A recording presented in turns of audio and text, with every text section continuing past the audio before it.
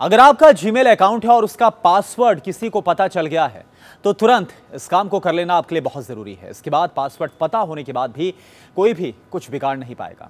इसके लिए बस आपको अपने फ़ोन में कुछ सेटिंग्स करनी होगी। क्या है वो सेटिंग्स ये आज आपको मैं इस वीडियो के ज़रिए बताने वाला जीमेल आईडी देखिए, लगभग हर डॉक्यूमेंट्स बैंक अकाउंट या फिर किसी भी एप्लीकेशन वेबसाइट को लॉगिन करने में आजकल इस्तेमाल होती है। ऐसे में अगर इसका पासवर्ड किसी दूसरे को पता चल जाता है तो मुसीबत आपके लिए खड़ी हो जाएगी। आपका बैंक अकाउंट तक हैक हो सकता है, खाली हो सकता है। आपके ईमेल पर भी इसका असर पड़ सकता है। तो जीमेल का पासवर्ड किसी के हाथ लगने का मतलब है कि आपकी हर एक चीज़ का एक्सेस उसके पास चला जाता है और इससे बचने के लिए आपको तुरंत इस काम को कर लेना बहुत ज़रूरी, जिस सेटिंग के बारे में आपको बता रहा हूँ, नहीं तो आपको पछताना पड़ जाएगा। इसके अलावा कोई चारा आपके पास बचेगा नहीं। अब सेटिंग्स में आपको क्या करना है? इसके लिए सबसे पहले अपने स्मार्टफ़ोन में क्रोम एप्लीकेशन को आपको ओपन करना है। ऐप ओपन करने के बाद आपको सेटिंग के ऑप्शन पर जाना है सेटिंग्स में। आपको प्राइवेसी एंड सिक्योरिटी का जो ऑप्शन है, जो नज़र आ रहा होगा इसे आपको देखना है, क्लिक करना है। प्राइवेसी एंड सिक्योरिटी के ऑप्शन पर आप क्लिक करें और यहाँ पर आपको फ़ोन एज अ सिक्योरिटी की का ऑप्शन दिखेगा।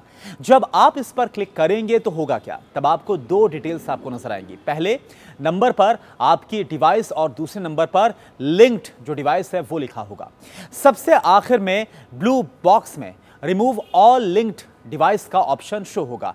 रिमूव ऑल लिंक्ड डिवाइस पर आपको क्लिक करना है। बस, इसके बाद आपका जो काम है, वो हो जाएगा। अब आपका जो पासवर्ड है, वो पता होने के बाद भी कोई भी आपके जीमेल को लॉगिन नहीं कर पाएगा, आप टेंशन फ्री हो जाएँगे। जब तक आप अपने फ़ोन को बस उसके पास ना लेकर जाएँ, उसे लॉगिन करने के लिए क्यूआर कोड की ज़रूरत पड़ेगी। सिर्फ़ इतना ही नहीं, आप आसानी से भी पता लगा सकते हैं कि कहीं आपका जो ईमेल आईडी है वो हैक हो तो नहीं गया है। अब इसके लिए आपको क्या करना है? इसके लिए सबसे पहले आपको गूगल क्रोम पर आपको जाना है और वहाँ पर हैव आई बीन पॉन्ट, यानी P W N E T, लिखकर आपको सर्च करना है। सबसे ऊपर शो हो रही ऑफिशियल वेबसाइट पर आपको जाना है।